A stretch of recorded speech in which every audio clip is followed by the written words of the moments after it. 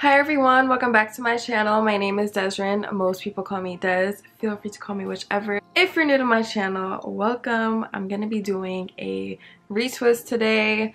I washed my hair probably like, oh my gosh, has it been a week? No way.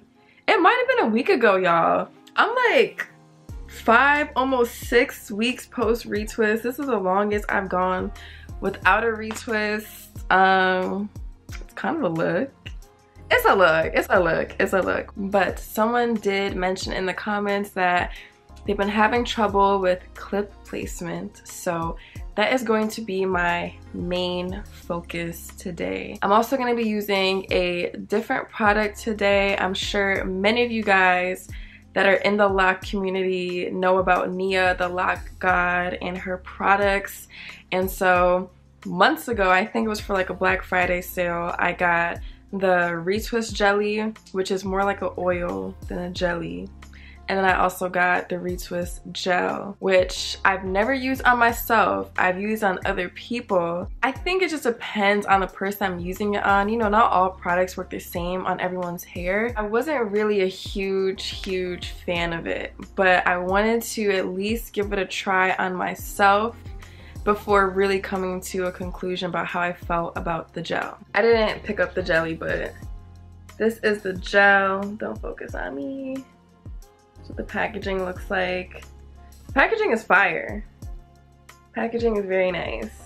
You can kind of see, it's like a clear gel. It has like a lemony, very lemony scent to it and there's definitely enough for me to do my hair. I don't want to give up on this gel because everyone raves about her products. I don't want to be that person, you know, but I'll be that person, but I don't want to be that person. For this retwist today, I am going to be using my double prong clips, my usual. I want to start off by saying clip placement really depends on the stage that your locks are in. So for starter locks, if you've ever watched other people in their videos or if you see videos online, you'll notice that if it's someone's first or second retwist, they might have clips throughout the length of their locks. So maybe one lock will have like four clips on it or three clips on it. That's to make sure that the entire lock stays in shape. So it really depends on the stage of your hair. As of right now, I'm definitely in the baby lock phase. I'm less than a year, so I don't really need to use as many clips. And it also just depends on your technique. Some people like to use a lot of clips, some people don't. It really just depends on the person. I'm just gonna start off by parting my hair. I will link the video up in the cards to show you guys how I'm able to part my hair and how easy it is for me. It's really as simple as just screen recording my phone to my TV. So it's a really quick video. I'll put that up in the cards for you guys to check out. But anyways, I did spray my hair with aloe vera juice just to give it some moisture. After separating my locks, I'm going to add a little bit of gel to my new growth and I'm going to begin twisting in a clockwise direction. So that is going towards the right side. I do like to comb through my new growth a little bit just to evenly distribute the gel. You don't want the gel just sitting only on one part of your new growth that literally does nothing for you at all. So after twisting down the length of my hair, I'm going to locksmith it a little bit just to tame some of that frizz. So I'm going to take my clip and the prongs are going to be facing the left side. And you want to place the clip where your new growth and your lock actually meet. And I really like to secure it just to make sure that I don't get any unraveling. So I usually add a second clip as well. I also had someone ask me where exactly I was sliding the clip. So I'm sliding it behind the base of my new growth. That is what is clamping it and securing it and making sure that it doesn't unravel. You still want to do this to your comfort level. You don't want this to be uncomfortable for you. I know clips can be painful, they can poke you, so be careful. The reason why I didn't use other clips for the other two locks at the base is because I was able to angle the clips in a way that covered the entirety of the new growth, so there was really no need to use a second clip.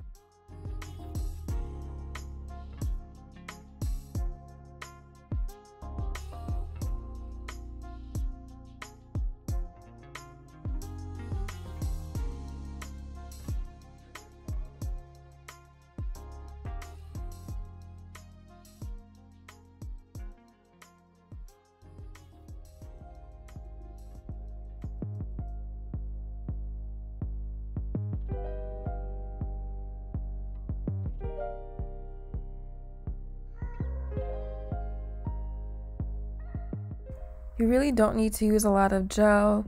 This is about the amount of gel that I use. That also depends on how much new growth you have. Just make sure you don't go overboard for those areas that might need a little bit more product. In this next clip, I'm going to show you what it looks like when you place the clip two different ways. So if you place the clip facing the left, it kind of bends outward a little bit and it's not really that flat. It's still pretty secure. I could, you know, continue like this, but I want to have a really solid base and I want to be able to clip other locks to this lock and to make sure that it stays consistent and solid throughout, I'm going to be placing the clip facing the right. I don't want you guys to get caught up on having to place the clips a certain direction every single time. It really is whatever gives you the best result.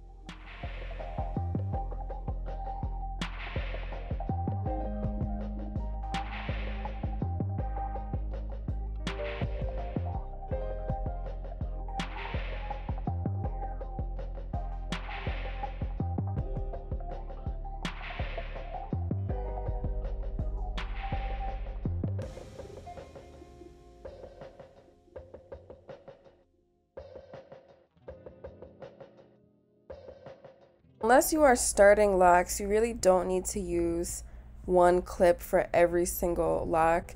You can definitely clip multiple locks together. It will not only save you time, but it will probably be much more comfortable because you'll have less clips in your hair.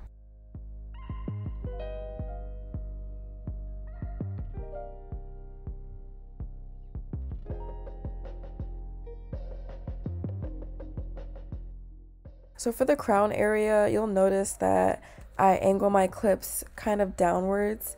That's just to make sure that everything stays flat. These locks do tend to be thicker in this area for me, so if I were to clip them any other way, they would simply flip over just because they're so thick. So clipping them downwards really helps. To set my hair, I'm going to be using the BB wrapping lotion. This stuff smells so good. I'm telling you, it just gives you that crisp factor. And then I wrap my hair with about two, maybe three black Wrapp It styling strips. A lot of people ask what is the purpose of this step. The wrapping lotion does give it a nice hold. It's not going to leave like residue on your hair.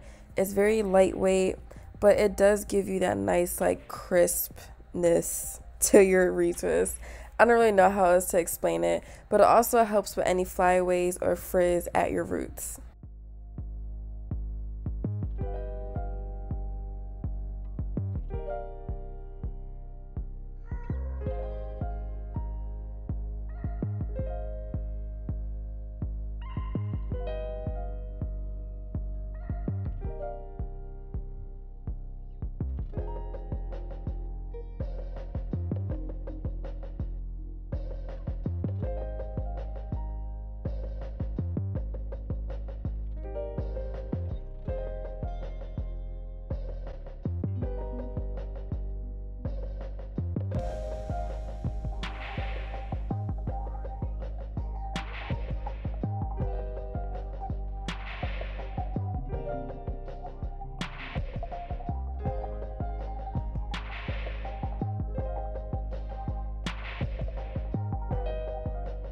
My hair feels heavier. It's getting some weight to it. I can actually kind of like shape it in a sense. Like y'all know when before how it would just like stick out and it would stay there until like I wrap my hair up. It's like dropping. So that is so exciting. I will say that this gel feels like stickier than the Napstar one.